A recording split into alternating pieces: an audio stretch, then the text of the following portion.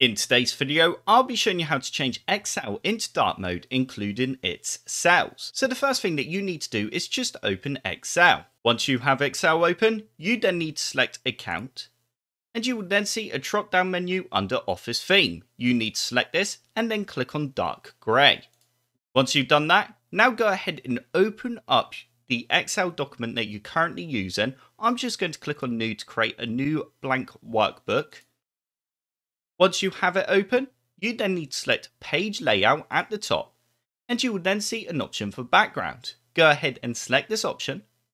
And before we go any further, you now need to open up the Start menu and type in Paint, and then open it.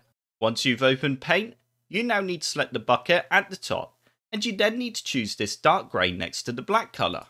You can also click on Edit Colours and choose a slightly different colour if you want a slightly darker grey.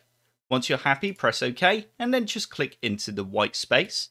And now go File, Save As. And you now need to save this image anywhere. I'm just going to save it in my Pictures folder.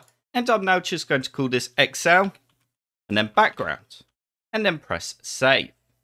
You then need to go back to Excel, and you now need to go from a file, and you then need to go to the location where you just saved your picture, and then select it and go Open. And there you go, that is how you change Excel into dark mode, including its cells. Also, if you are struggling to now read the text that's within your Excel workbook, then you can always change the font color by simply selecting your text, so I've just written test there, go to home, and then just change the font color here. Also, if you were to delete that picture that we created within Paint, it would still load this background color, and if you were to load this workbook on another computer, it would still load the background color as well. If you did want to remove the background color, then you can go back to page layout and then click on delete background. So I hope this video helped you out and you enjoyed it. If you did like the video, click the like button below. And if you'd like to see more computer sluggish videos, then click that subscribe button. If you do subscribe, then I will see you in the next video.